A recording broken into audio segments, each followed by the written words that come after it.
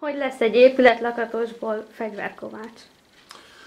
Hát ez jó kérdés, ez végül is úgy kezdődött, hogy 2000-ben megszűnt a munkahelyem.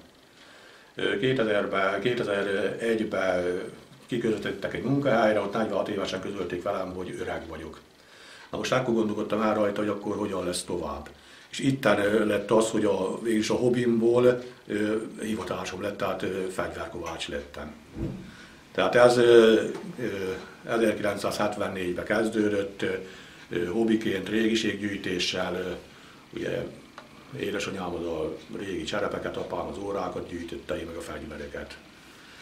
Na most közben ugye a sors úgy hozta, hogy építkezés, mit tudom én, akkor abba hagytam, közben festegettem is, tehát akkor is volt egy ilyen kihagyásom. Aztán végül is a végső lökést azt 97-98 körül egy Balaton lellei munkámhoz hozta, ott volt szerencsém berendezni egy lovaktármet, amit ugye annak idején Habsburg Otto,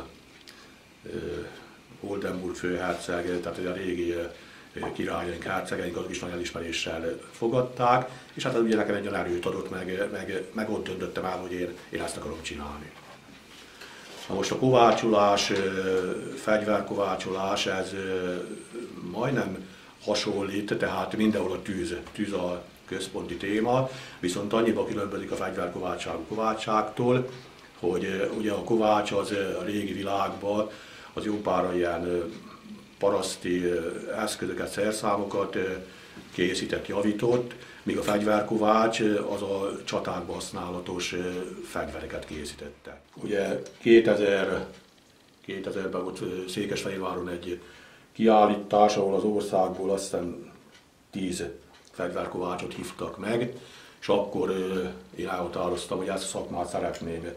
Illetve, bocsánatok, mert nem szakmáról beszéltünk, mert ugye akkor még úgy volt, hogy csak valami elindult. Én akkor elhatároztam, hogy én szeretném szakmaszinten űzni fegyverkováltságot, tehát ezt nem kell feltalálni, nem kell kitalálni, csak művelni kell. Ezt már régen kitalálták, megoldották, nekünk viszont ugye olvasnunk kell a jelekből, könyvekből, és hát megpróbálni ugyanúgy elkészíteni. Ezt a szakmát ezt nem tanítsák.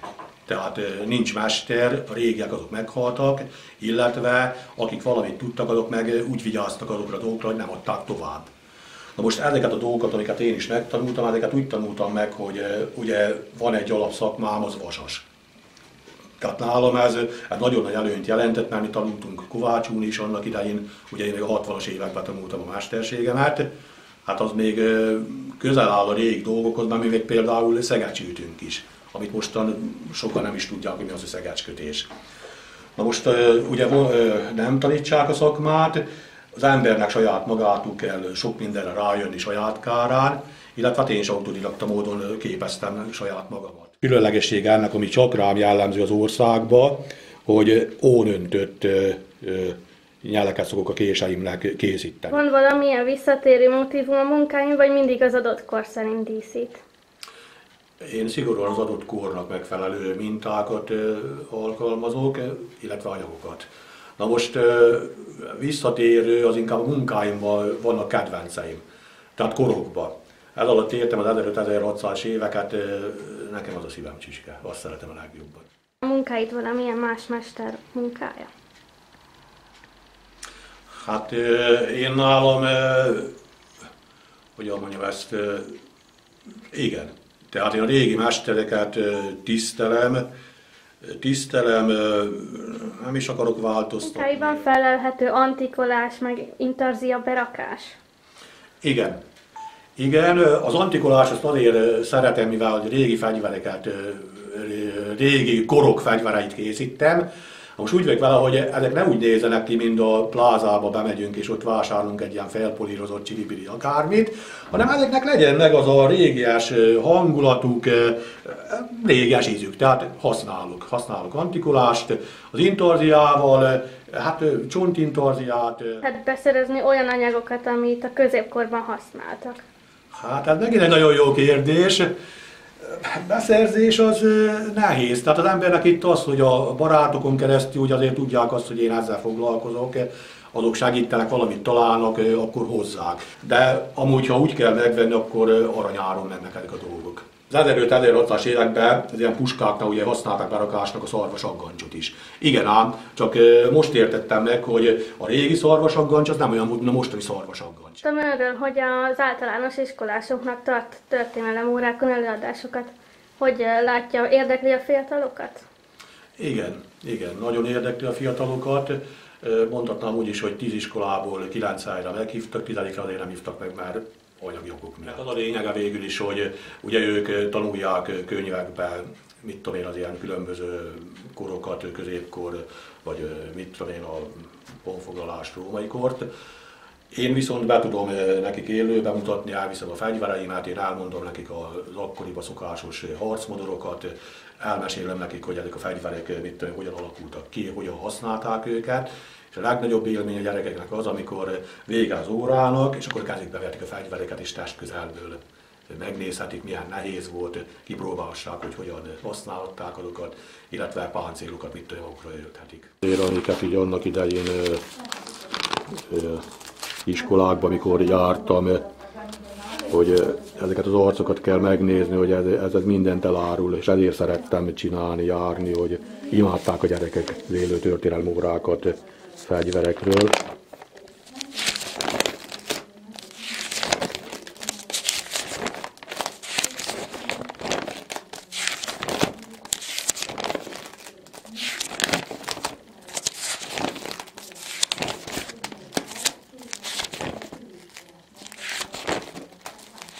Itt ez például egy művelődési házba volt, tehát ott zsúfolásig még ki is emel itt az újság is, hogy pótszékeket is kellett behozni, tehát akkora érdeklődése volt.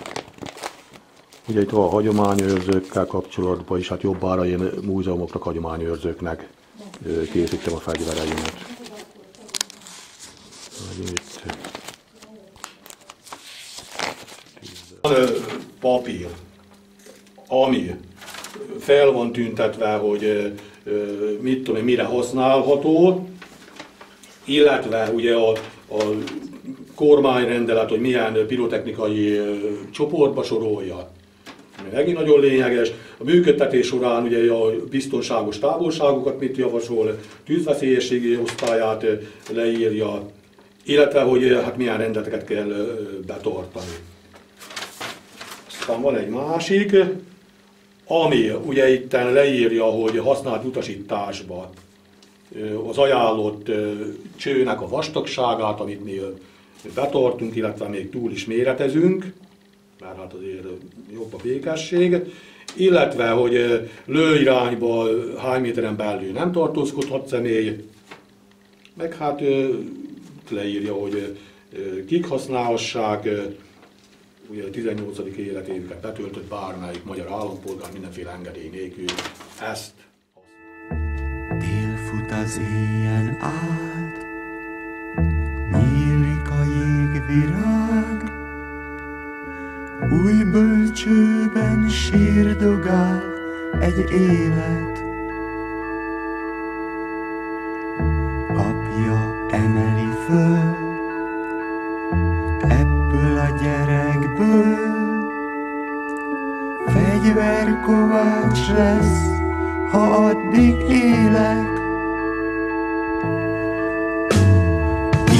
Is lett bizony, de szólt egy szép napon, ne csináljunk soha többé fegyvert.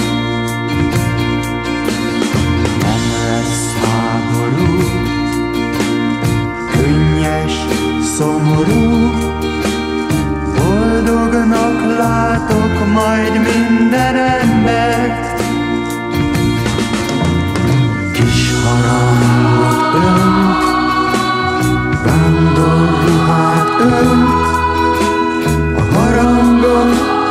világot bejárja.